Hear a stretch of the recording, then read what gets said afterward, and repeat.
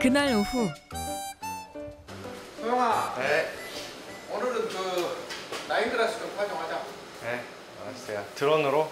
드론으로 파종하고 네. 노타리도 치고 그래야지. 네. 드론은 너희들이 잘하긴 하는데. 너희들 자격증 있으니까. 드론은 그냥 아- 지 혼자 알아서 하는 거지. 찍어놓으면은 아빠 이거 뭐 하는 거? 이게 이게 원래 이제 드론 파종 안 할 때는 이걸 트랙터에다 채가지고 이걸로 라인그라스를 파종하지. 아. 근데 너가 이제 드론 기술을 배워가지고 오니까 이제 이걸 거의 안 쓰지.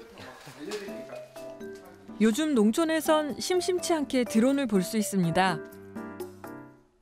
입재와 방제, 비료, 파종, 병충해 감시에 사용된다는데요.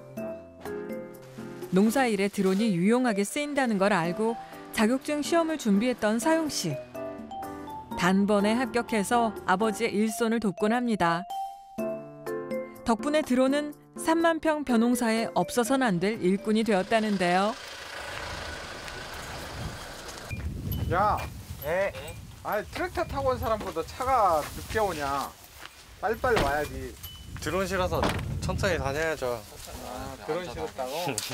야, 그렇게 트랙터 한 번 치고 네. 이제 드론 파종해야 되니까 네. 네가 좀 트랙터 좀 해볼래? 네. 드론 자격증은 땄지만 아직 트랙터 운전 실력은 미흡한 서용 씨. 할수 있는 거 아니고. 아빠 출발하는 게 뭐였죠 그러면? 아니 몇번 가르쳐줬는데 그것도 모르냐? 아, 그런 것들도 한지 오래돼가지고 까먹었어 또. 이렇게 당기면 후진, 이렇게 이 밀면 전지. 제일 중요한 거는 응. 기계가 무슨 이상이 딱 있을 때는 어떠라고? 멈추라고. 응, 그래갖고 어떻게 하라고? 아빠한테 전화하고. 그렇지. 그건 반드시 필요해. 응. 알았어. 사람 안내고 잘해볼게.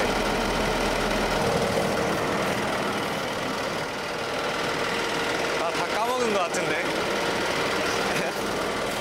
아버지의 긴 강의를 듣긴 들었는데 실전을 잘 해낼 수 있을까요?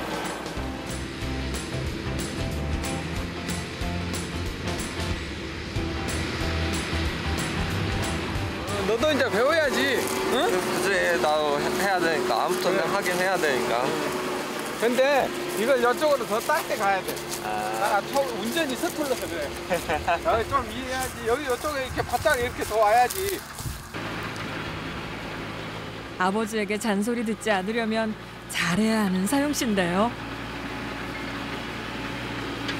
아, 여기 코너 도는 게 힘드네, 역시. 어떻게 모서리를 다 하지? 왔다 갔다 해야 되나?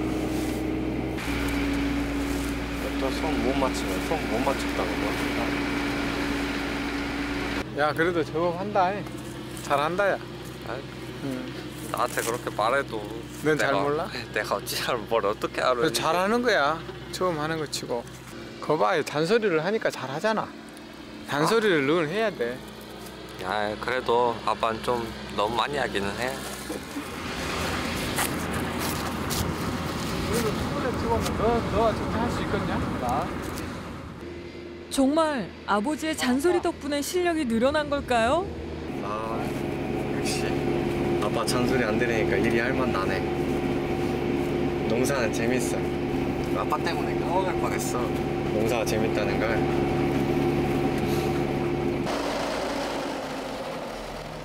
내려봐. 생각보다 많이 어렵네. 그 그게 익숙해지려면 한참 되지 그게 한 번에 처음에 다 잘하는 사람이 어디가 있대 자 드럼 파종하자 에응 나랑 끝인가? 조심해. 드론 다치면 안 된다. 오늘 드론으로 해야 할 작업은 라인그라스 씨앗을 뿌리는 것. 라인그라스는 겨울철 품질 좋은 풀사료가 된다고 하네요. 야 이것도 조심해 네. 아빠가 다 이거 비싼 거잖아 조심해야지. 응. 또 꼬라 박으면 안 된다 이 큰일이다 이건 꼬라 박을 꼬라 수도 박- 있어요. 꼬라 박으면은 응. 그 자격증 취소야 취소.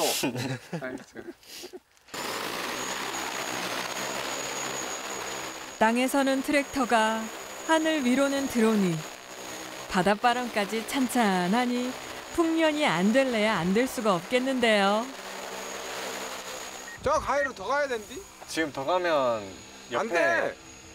더더 가야 가라고? 돼. 저 바짝 저 가봐. 아이, 아. 자식. 저, 저, 아이, 자식. 저 바람 부는 거 보면 저 가에 씨를 뿌려야지. 네, 됐어요. 됐어.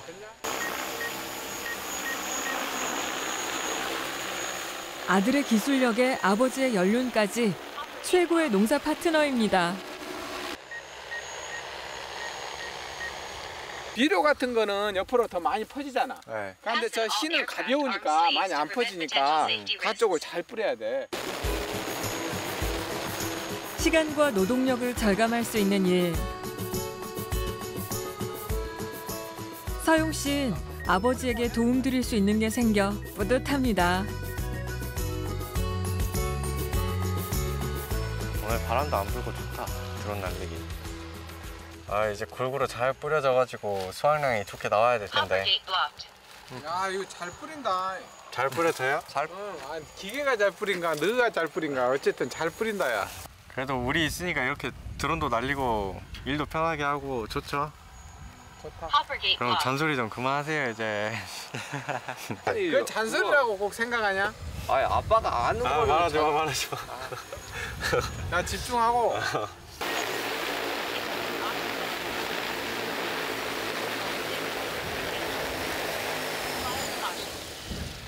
이제 정리하고 가자. 그래, 네. 다 고생했다. 응, 수고했어. 아, 고생하셨습니다. 라인 그라스를 심은 건 수확 후 건초를 만들어 소에게 주기 위해서라는데요. 아버진 둘째 서진 씨가 귀농한 뒤 소도 키우기 시작했습니다. 벼농사만 해도 시간이 없어 다른 건 꿈도 못 꿨던 아버지. 아들들이 든든하게 지키고 있으니 이것저것 해보고 싶은 일들을 펼쳐가는 중입니다. 잘만 되면 아들들의 밑거름이 되어줄 거란 확신도 있죠.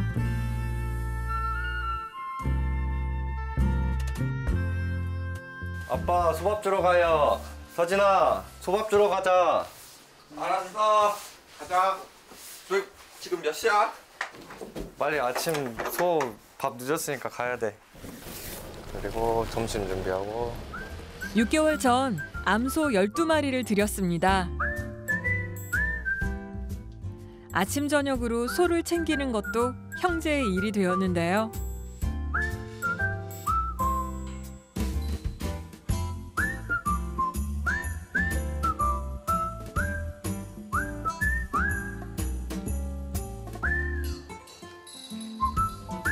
소밥을 줘볼까?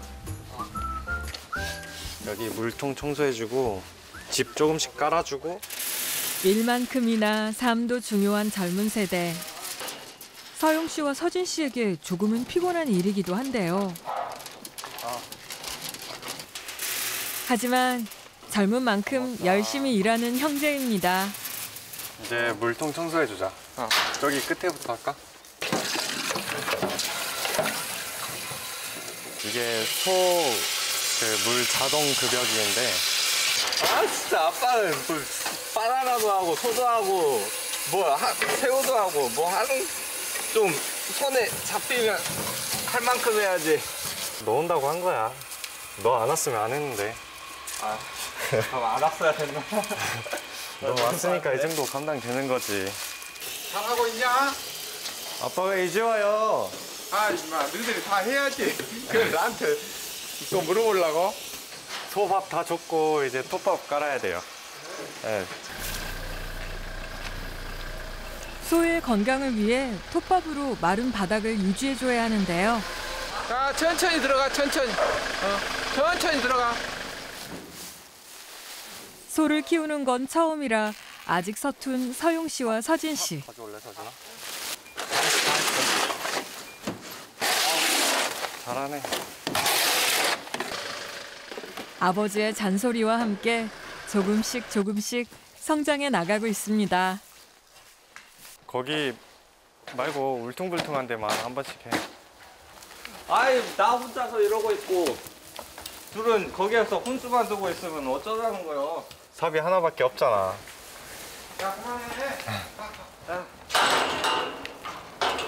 아 그럼 이쯤만 한 거야 아, 아, 다 했다니까. 됐다니까. 그 시간 축사로 찾아온 손님 누굴까요? 안녕하세요. 인공수정하러 오신 거죠? 네.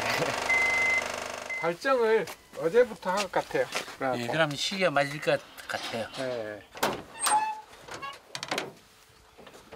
이것이 질소 가스통입니다. 네. 마이너스 196도에 네. 보관을 하는 거예요. 아, 이제- 정액이 이렇게. 예, 정이 이렇게 있습니다. 아. 그러면 어, 이것이 한 앰플당 이렇게 있습니다. 네. 정액 앰플을 여기서 녹입니다. 이렇게 1분 50초, 1분 30초 그 정도 녹입니다. 아, 암소만 키우기 때문에 새끼를 낳기 위해서는 인공 수정을 해야 하는데요. 이렇게 안에서 밀면 저기 있는 소가 발정한 소 같은데. 네. 네.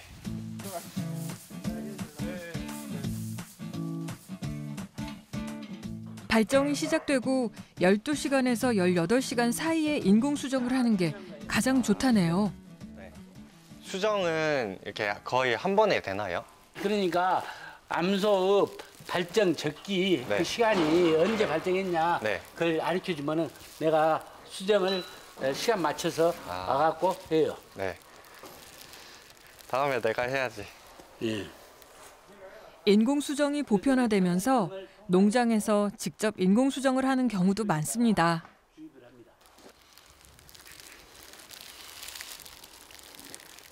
다 끝나셨나요? 예. 아, 엄청 빨리 끝나네요. 시기가 어, 적기면은 소가 온순하고 어, 수정하기도 더 용이해요. 아, 수고했습니다. 갑니다. 감사합니다. 네가 좀 배워라 이제.